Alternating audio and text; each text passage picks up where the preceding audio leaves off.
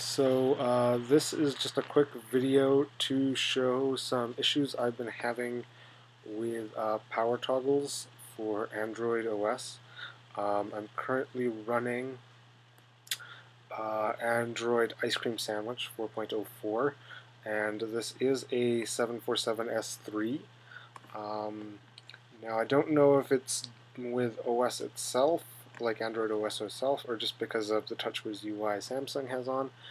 But basically, uh, if you enable Power Toggle's um, accessibility service, uh, as you can see here, there's just some stuff, and I've got it turned on here. Um, if you have it no enabled, I'm going to go straight home.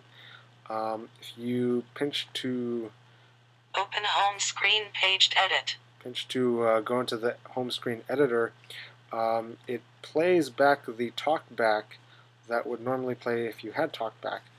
But, as you might have noticed, I don't have talkback on. It's, uh, it's not enabled here. Um, so, uh, it's just a kind of weird quirk. It's something I did find, and the same thing when you go out of there. Workspace 2 of 2. It, uh, it plays the talkback that would normally play had you enabled that feature. Um, and uh, the reason I can tell that is actually definitely the power toggle service, because if you disable it and tap OK to stop power stop the service, go to my home screen, suddenly no problem, no sound, no talkback. Uh, so just to show that this is what this was what talkback is supposed to be doing is telling me I'm enabling it. Rainer 10%. TouchWiz home. So I'm at home. Open home screen paged edit. Exactly the same thing that would happen. That happens when I uh, when I use the when I have the power toggle service enabled. Workspace 2 of 2. Workspace 2 of 2.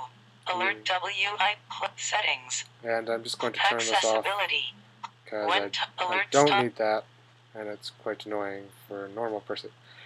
Uh, so, like if I uh, if I go home screen with both of them off, I'll show. I'll just quickly show that these are both off. It says power toggles off, talkback off. I go home. Now it's completely silent. Now I can go ahead. Doesn't say anything whatsoever. Um, so obviously uh, there is a bug with Power Toggles' as service. Uh, can't tell if it's, you know, um, because Samsung does something weird with their accessibility, but once I turn this back on, Open home screen paged edit. we get it again. Workspace 2 of 2. So, uh, if you, you know, you don't have to have the service, but I did like having my uh, notifications toggle thing at the top. So I had the service running, and I found this bug. So I figured I'd make a video and let you guys know. So that is that.